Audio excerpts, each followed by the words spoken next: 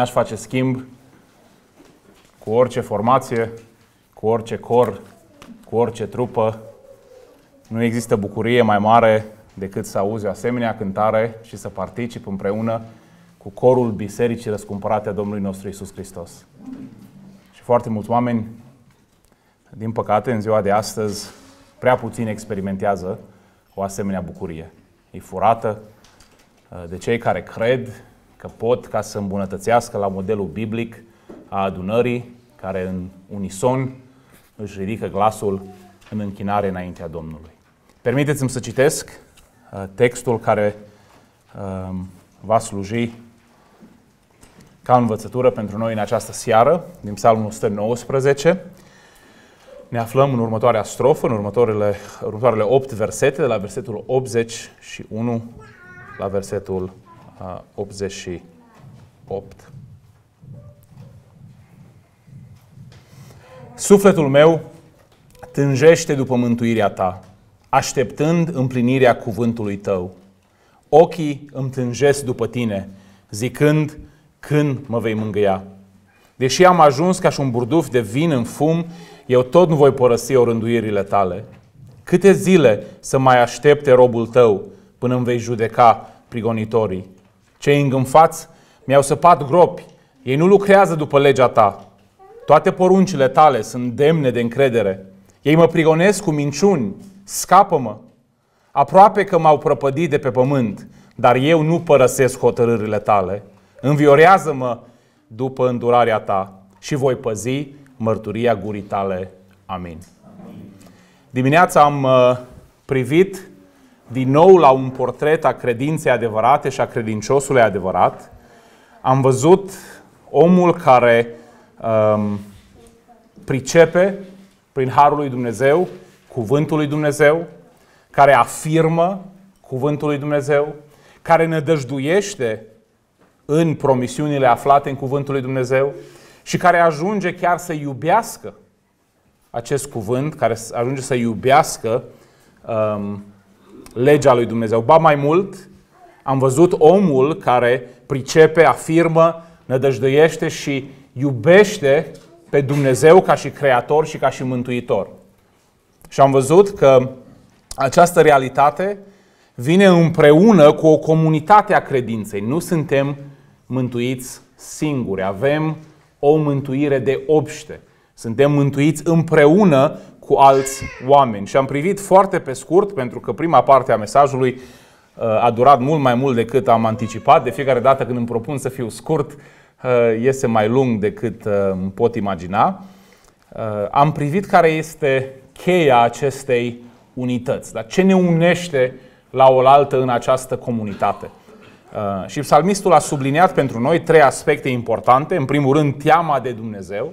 În al doilea rând, ascultarea față de cuvântul lui Dumnezeu și în cele din urmă bucuria credinței. Bucuria care o avem din cauza că noi avem credință, fiecare dintre noi, și bucuria văzând credința vie și lucrătoare în viața celorlalți.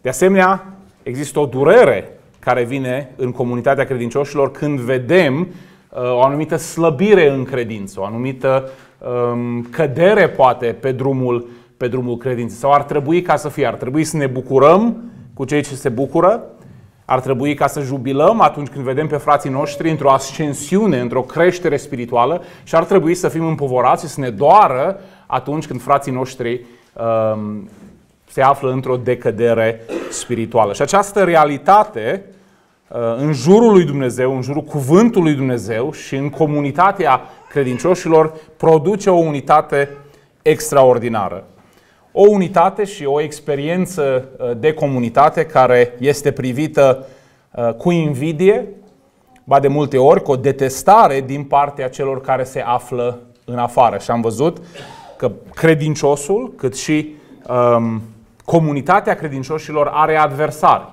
are oameni care sunt împotrivitori credinței.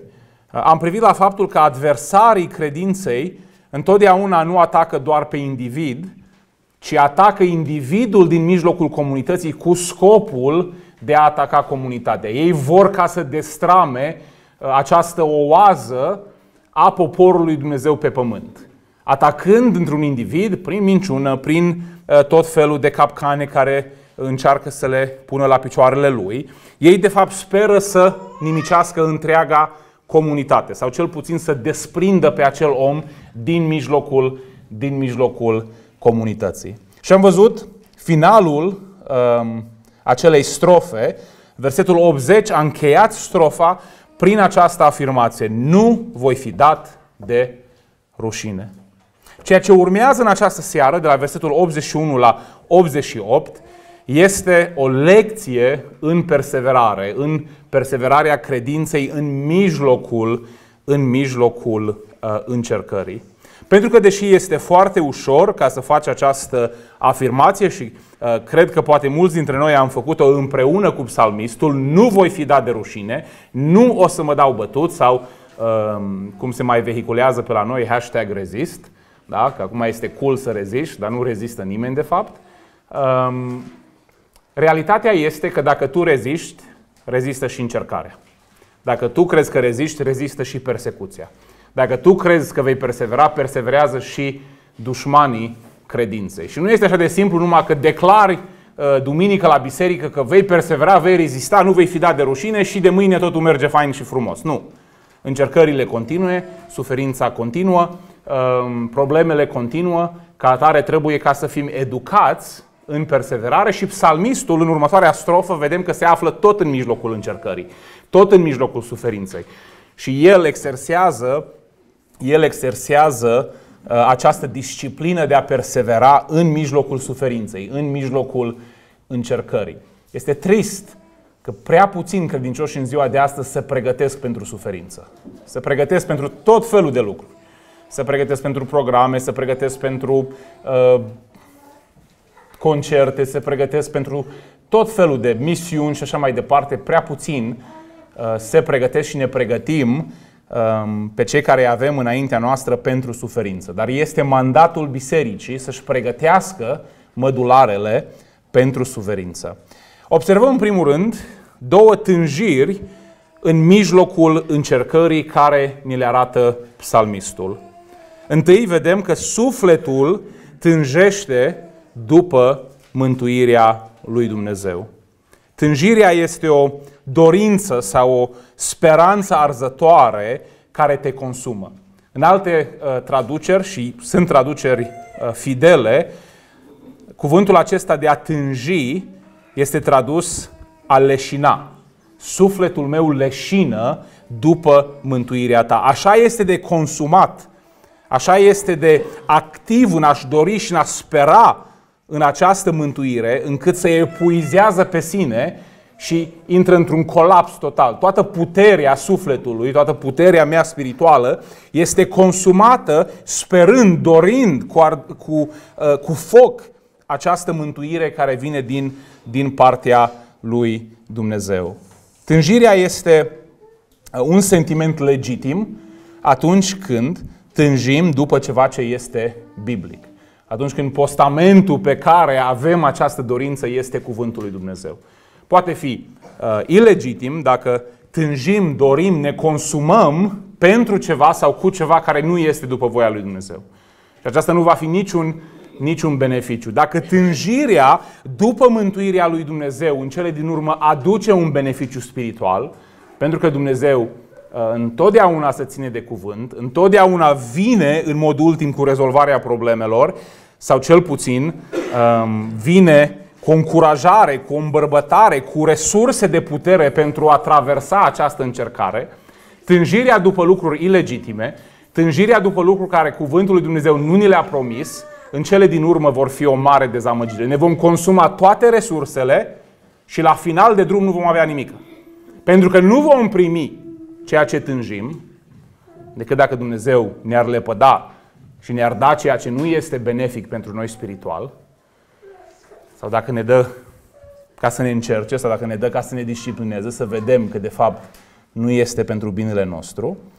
Și la final de drum, când vom fi dezamăgiți, ne-am consumat toată energia și sufletul nostru este leșinat și n-am câștigat, n-am câștigat nimic.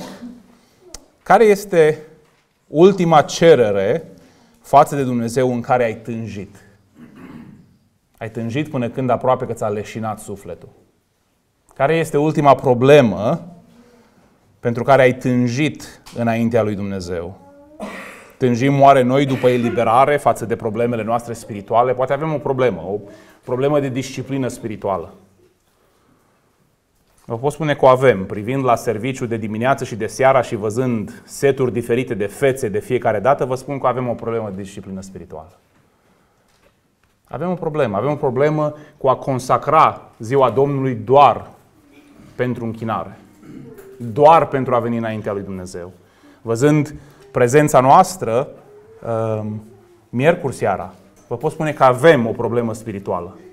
Și mulți dintre voi v-ați mărturisit în privat față de mine, frate, știu că am problema asta de disciplină spirituală, dar ai tânjit pentru o eliberare de la lucrul acesta. Ai tânjit pentru maturizare. Te-ai consumat până la a fi leșinat înaintea lui Dumnezeu.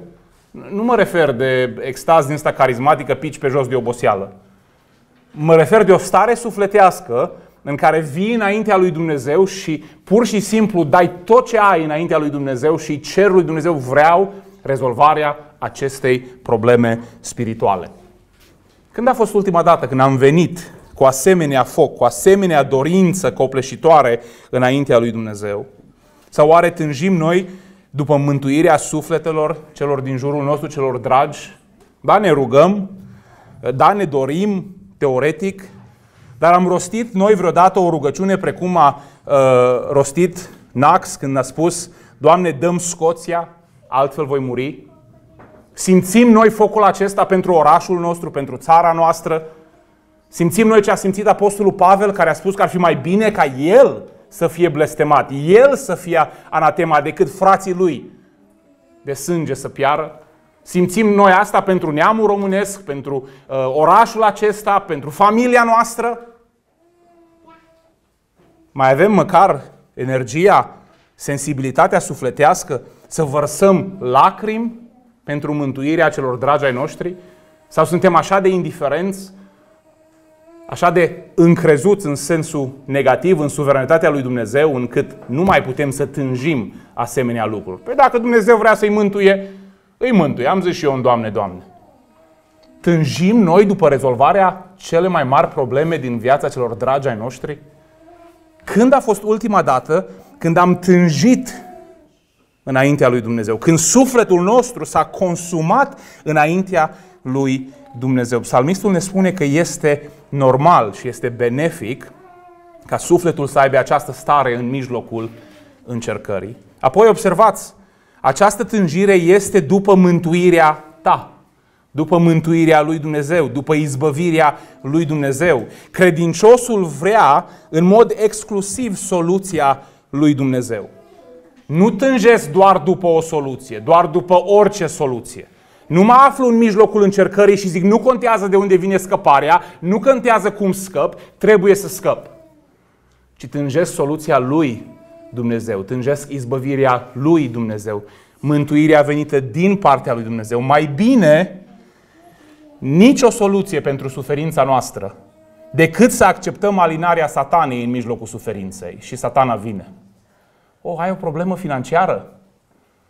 Vine satana și spune, toate bogățiile lumii sunt ale mele. Cât îți trebuie? Ai o problemă relațională? Nu te plac oamenii? Vine el și îți propune popularitate. Ai o problemă la servici? Are el pile la șeful tău. Mai bine să rămâi nepromovat, sărac, în suferință, nepopular, decât să accepti ofertele celui rău sau subordonaților lui, pentru că noi așteptăm nu orice soluție, ci soluția lui Dumnezeu. Nu orice mântuire, ci mântuirea lui Dumnezeu.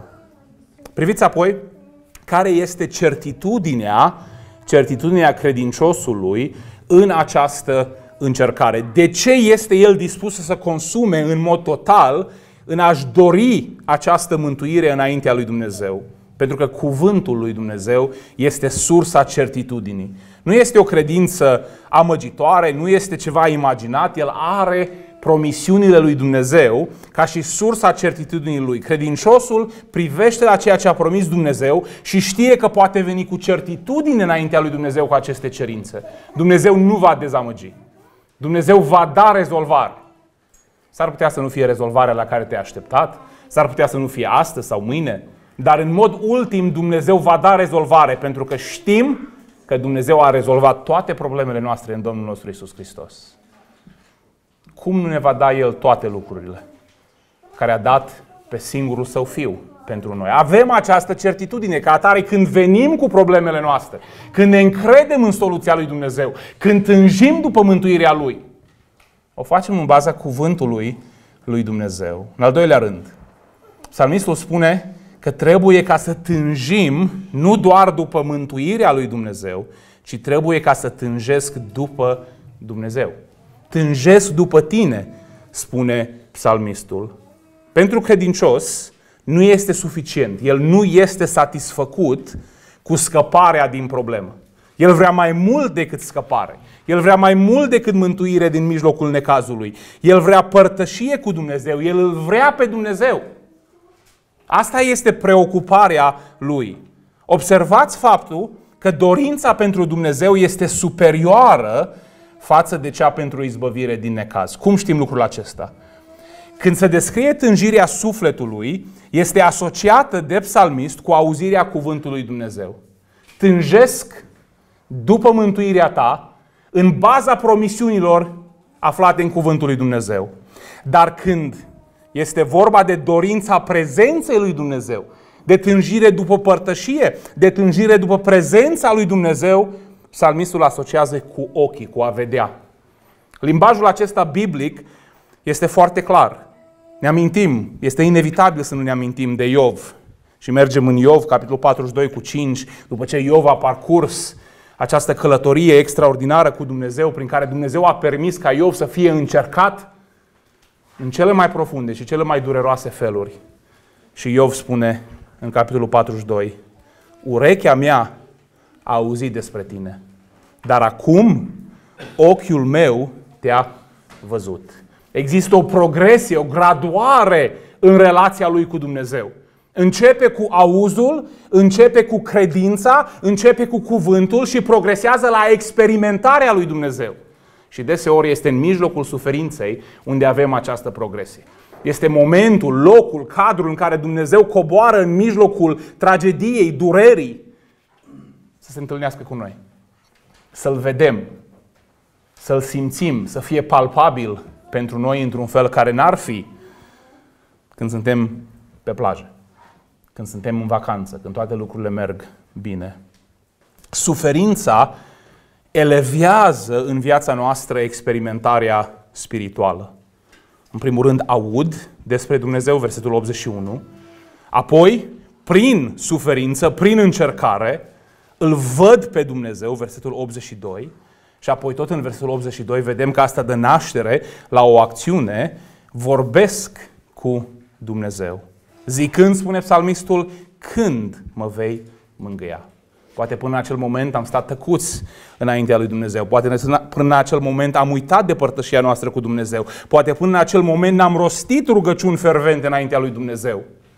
O am fost auzită de Dumnezeu. O poate chiar am declarat că ne-am pus credința în El, dar până când n-a venit încercarea, nu l-am văzut. Nu l-am cunoscut în felul intim și în mijlocul încercării îngenunchem și strigăm, vorbim cu Dumnezeu, relaționăm cu Dumnezeu. Ceea ce am evitat până atunci, sau în ceea ce n-am investit foarte mult timp și efort, acum devine prioritatea noastră. Vrem să vorbim cu Dumnezeu, vrem să simțim prezența Lui, tânjim după prezența Lui, pentru că este singurul lucru care ne va aduce alinare. Sunt unele suferințe la care nu există soluții în această viață. Și singura speranță de la o zi la alta este să-L ai pe Dumnezeu alături de tine. Al doilea rând, psalmistul ne prezintă aceste două perseverări în contrast. Ne arată, cum ziceam, faptul că credinciosul este chemat să persevereze, dar în același timp încercarea perseverează. Să nu avem impresia că perseverarea este un automatism. Pur și simplu perseverăm. Frate, am înțeles. Da? Al cincilea punct din tulip, perseverăm, gata, am bifat. Perseverarea nu este automată. Perseverarea este o lucrare suverană lui Dumnezeu, dar o trăiești. O simți pe pielea ta.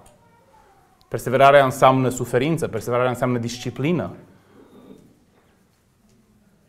Perseverarea, în primul rând, înseamnă că ai de la ce să perseverezi. Împotriva ceva trebuie să perseverezi. Și dacă noi perseverăm în credință, de asemenea încercările perseverează. De asemenea atacurile perseverează. Ce înseamnă să perseverezi în încercare? În primul rând, și nu poate însemna perseverare dacă nu are acest aspect, înseamnă a rămâne fidel și ascultător față de Dumnezeu. Uitați ce spune psalmistul în versetul 83 și 87. Eu tot nu voi părăsi orânduirile tale. Și în versetul 87. Dar eu nu părăsesc hotărârile tale. A persevera nu înseamnă doar a răbda. Orice om rabdă suferință. Întrebați-l pe fratele Cristi. La spital mai erau și alți oameni, nu frate Cristi. Poate oameni care nu-L cunosc pe Dumnezeu. Și rabdă. Da? Și mâine iar o să rabde, și poi mâine iar o să rabde. Și o să rabde până la finalul vieții lor, când va hotărâ Dumnezeu că asta trebuie să vină.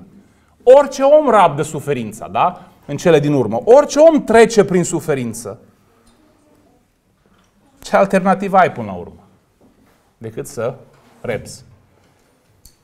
A persevera înseamnă mai mult decât atât. Înseamnă a fi mai mult decât biruitor în încercare. Înseamnă a folosi încercarea spre efectul ei intenționat în viața ta de Dumnezeu. Asta înseamnă a persevera. Înseamnă a folosi durerea, greutatea, persecuția din afară spre intenția ei. Și intenția este ascultarea față de cuvântul lui Dumnezeu și experimentarea lui Dumnezeu în mijlocul necazului. De aceea îngăduie Dumnezeu aceste lucruri. A răbda, pur și simplu, este un lucru natural, este un lucru păgân. A persevera înseamnă a asculta în ciuda, chiar din cauza încercării și a experimenta, a avea comuniune, a avea părtășie cu Dumnezeu din cauza încercării. În orice încercare există două intenții. Intenția lui Dumnezeu și intenția celui rău. Gândiți-vă din nou la Iov. Știți cum începe istoria aceasta? Satan care îl întreabă pe Dumnezeu dacă poate să se atingă de Iov. Iov care era un om neprihănit. Și Dumnezeu îi permite. Care este intenția lui Satan? Ca Iov să se leapă de Dumnezeu. Asta este scopul lui și insistă în încercare după încercare, în ispită după ispită, crezând că va ajunge la un punct la care Iov va spune destul. Care este intenția lui Dumnezeu? Cu siguranță nu este aceeași intenție. Intenția lui Dumnezeu este ca Iov să ajungă la un alt punct, la un punct de comuniune desăvârșită cu Dumnezeu, la un punct în care să exclame ceea ce am văzut în capitolul 42. Ochiul meu acum te-a văzut. Gândiți-vă la Iosif. Care a fost intenția celui rău, intenția fraților lui Iosif, făcând ceea ce au făcut? Mi se spune, voi ați intenționat-o spre rău, dar Dumnezeu a intenționat-o spre bine. Dumnezeu a avut un plan măreț pentru viața lui Iosif, pentru poporul său. Ambele intenții sunt prezente în fiecare încercare. Întrebarea este cum vei fructifica tu acea încercare, care se va realiza în viața ta? Te vei apropia de Dumnezeu în experimentarea ta? Te vei apropia de cuvântul lui Dumnezeu în ascultarea ta? Sau vei înapoia?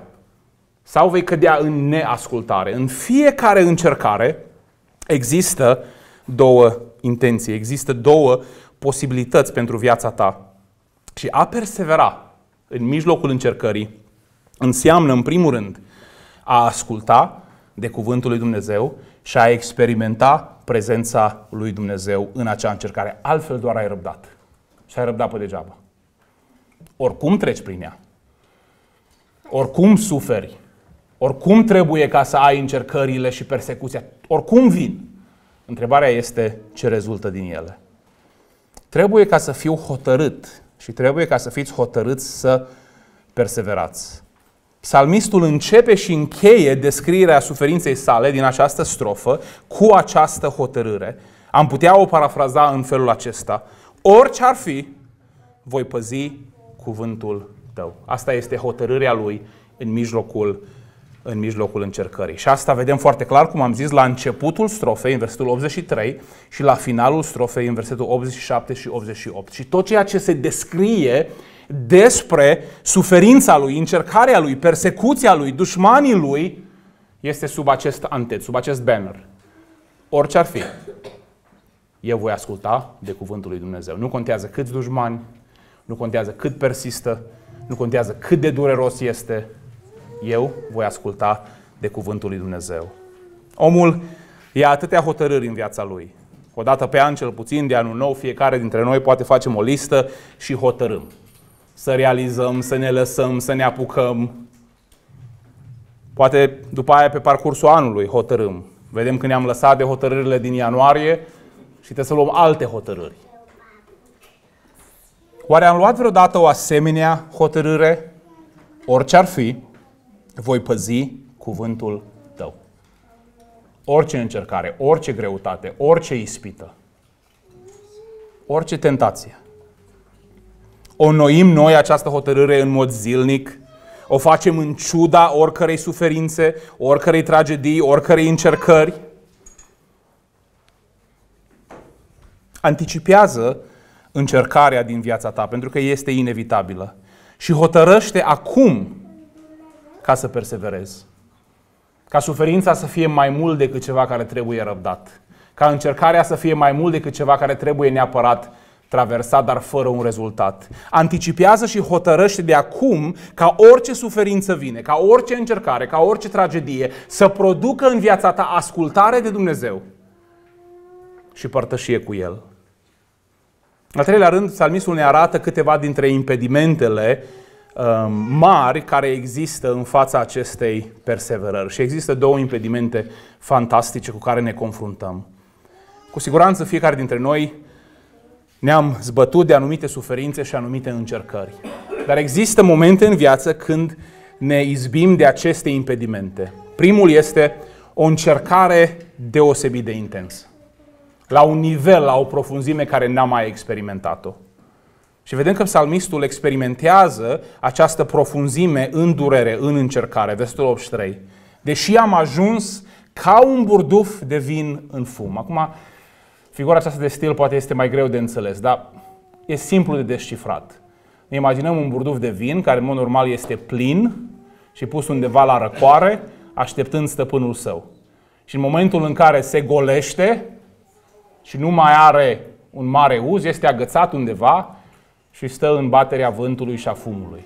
Și începe și se usucă și începe și se distruge. Și el, psalmistul, folosește această figură de stil să ne explice care este profunzimea suferinței lui. Am ajuns ca și această piele inutilă, uitată, uscată, fără vlagă, fără viață. Există momente de suferință care ne aduc în această stare. Nu orice moment este așa, deși de multe ori noi pretindem. Oh, am făcut pană la mașină, ioi, nu mai pot, viața asta mă sunt nenorocit. Stai liniștit, duci la vulcanizare, schimb roata, ai rezolvat problema, da? Oh, am luat un șapte la examen. Gata, mi s-a terminat viața. Stai liniștit, asta nu e suferință. Cele mai multe lucruri sunt suferințe uzuale, peste care, până la urmă, trecem fără mult efort spiritual, dar există momente de suferință și de încercare deosebit de grele, deosebit de profunde. Și sunt acele momente care ne încearcă hotărârea de a persevera. Sunt acele momente care ne zguduie. Peste 8-7. Aproape că m-au prăpădit de pe acest pământ. Atacurile sunt așa de profunde, așa de uh, constante, încât este aproape Uh, pe moarte. Da? Din nou, nu putem să nu ne gândim la Iov, care a pierdut totul. Totul, încercare după încercare, da? familia, averia, sănătatea, totul. Un alt grad de încercare, un alt nivel. Ce vom face în acele momente? Ce vom face când Dumnezeu ne încearcă prin pierderea celor dragi? Ce vom face când ne încearcă prin pierderea sănătății, prin pierderea averii? Mulți dintre noi nici măcar nu avem curajul să ne imaginăm lucrurile acestea. Frate, nu, nu mă fă să mă gândesc la lucrurile acestea, sunt prea dureroase pentru mine. Nu mă fă să mă gândesc ce s-ar întâmpla dacă ar muri soția, dacă mi-aș pierde casa, dacă ar muri un copil.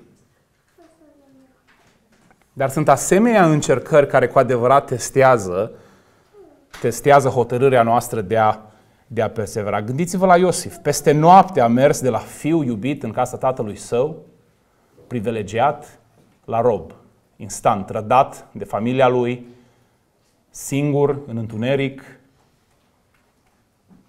Cum ar fi? Nici nu ne putem imagina. În, în societatea în care noi trăim, așa ceva nu, nu există. Nu știu, cred că eram într-o zi acasă și nu știu cum a ajuns discuția la faptul că pe vremuri părinții își vindeau copii. Nici nu te nu mai poți închipui așa ceva, deși se întâmplă. Se întâmplă și în România la ora actuală.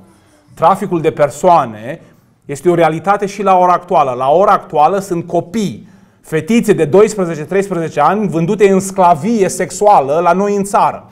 Luate și duse prin Europa să se prostitueze. Cu forța. Există, sunt realități. Imaginați-ți dacă tu ai fi în situația aceea. Dacă tu ai fi luat de sclav. Sunt lucruri care nici măcar nu îndrăznim să ne imaginăm, dar ele sunt posibile. Și Dumnezeu posibil ca să îngăduie la un moment dat în viața ta și va arăta diferit în viața fiecăruia. Niște încercări care depășesc nu doar potențialul tău de a rezista, ci potențialul tău de a-ți imagina așa ceva. O boală care nu ți-o poți imagina. Sau există o altă categorie. O încercare aparent interminabilă. Sau o încercare după încercare și parcă nu se mai termină. O boală care nu, nu se mai rezolvă. Atacuri din partea dușmanilor care nu se mai termină. Uitați versetul 84. Câte zile să mai aștepte robul tău? Doamne, nu mai pot. A fost un atac, am crezut că s-a terminat, am crezut că am un pic de liniște, a venit un alt atac. O altă bârfă, o altă hulă. Am avut o tragedie, o pierdere, în sfârșit am crezut că am rezolvat-o, vine o altă pierdere, o altă problemă. Doamne, nu se mai poate. Cât timp? Când se rezolvă? Când se termină? O încercare sau o serie de încercări aparent interminabile.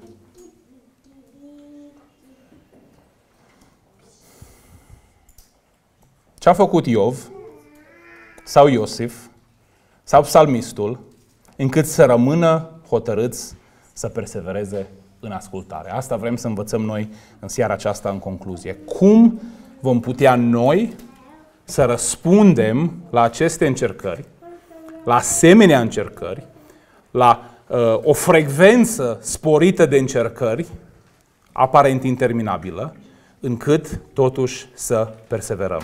Uitați resursele care le subliniază psalmistul în concluzia acestei strofe pentru perseverare. Versetul 88. Înviorează-mă după îndurarea ta și voi păzi mărturia gurii tale. Patru resurse și un instrument prin care să le accesăm în acest ultim verset din această strofă. Le subliniez în ordine inversă, pentru că cred că se clădesc mai bine în acest fel. În primul rând, cuvântul lui Dumnezeu. Ceea ce trebuie să păzim este mărturia cuvântului lui Dumnezeu. Și prima resursă care o avem este cuvântul lui Dumnezeu. De aceea trebuie să alergăm întotdeauna la cuvântul lui Dumnezeu. De aceea alergăm la citirea cuvântului, la studiul cuvântului, de aceea alergăm la predicarea sănătoasă a cuvântului. Nu există nicăieri, și nu o spun cu nici măcar un gram de aroganță, nicăieri, un loc mai bun de a-ți petrece trei ore pe săptămână decât în această biserică. Nu există ascultând cuvântul lui Dumnezeu predicat. Nu ai nicio investiție mai bună de făcut. Nimic mai profitabil. Nu există. Vă pot garanta lucrul acesta nu bazat pe experiența mea, bazat pe promisiunea lui Dumnezeu. Este mai valoros timpul petrecut aici. Nu numai pentru veșnicie, și pentru viața aceasta. Decât orice distracție, orice divertisment, ba chiar orice curs sau școală sau carte citită. Timpul petrecut cu copiii lui Dumnezeu, în cuvântul lui Dumnezeu, este cel mai profitabil și cel mai benefic. Și poate nu o să-ți dai seama decât atunci când vine acea încercare. Atunci când vine acea serie de încercări interminabile. Și atunci îți va părea bine. Și atunci te vei afla pregătit, umplut, hotărât pentru a persevera în mijlocul încercării. În al doilea rând, ascultarea. De multe ori nu realizăm, dar ascultând de cuvântul lui Dumnezeu, avem alinare și prindem mai multă putere în mijlocul încercării. De multe ori, noi agravăm încercarea, agravăm situația prin neascultarea noastră. Vine încercarea și în loc să alergăm la cuvânt și să ascultăm de cuvânt, noi ne depărtăm de cuvânt și încălcăm cuvântul. Și trece o săptămână, trec două și lucrurile devin din ce în ce mai rele și după aia vine și spune, frate, dar nu știu ce se întâmplă. Numai nu se rezolvă, pentru că nu ascultăm. De multe ori, doar înțelepciunea care o avem în Cuvântul lui Dumnezeu, aplicată practic în viețile noastre, ar rezolva foarte multe probleme. Să nu mai vorbim că este foarte posibil că motivul pentru care Dumnezeu a lăsat încercarea este să sublinieze neascultarea noastră. Și El nu va înceta cu nuiaul și cu toiagul lui până când nu ascultăm. 3. Harul lui Dumnezeu.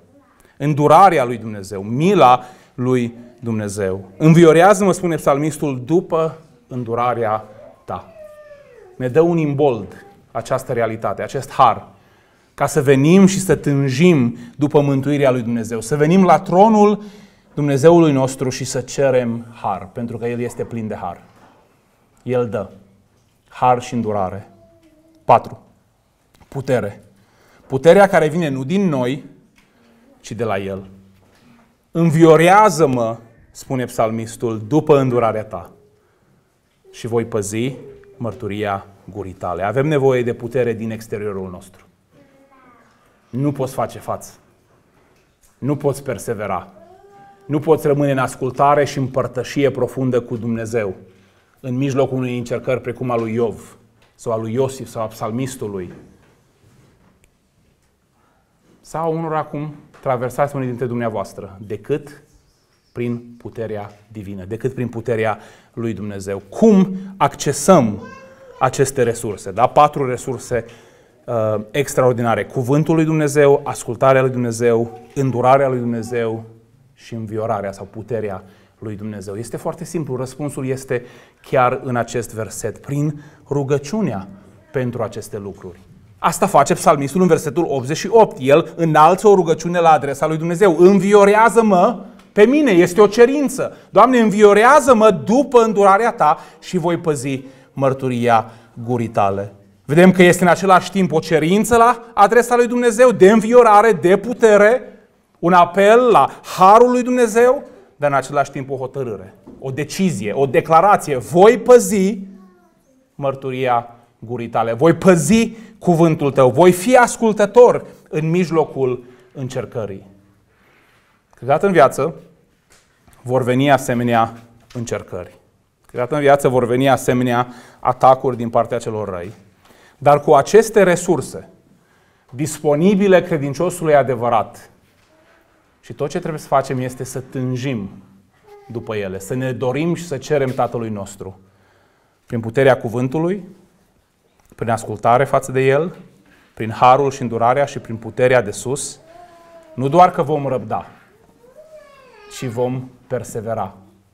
Vom împlini scopul intenționat de Dumnezeu pentru viața noastră și anume sfințenie, adică ascultare de Cuvântul lui Dumnezeu, și apropiere în comuniune cu Dumnezeul nostru prin încercare, prin suferință. Amin.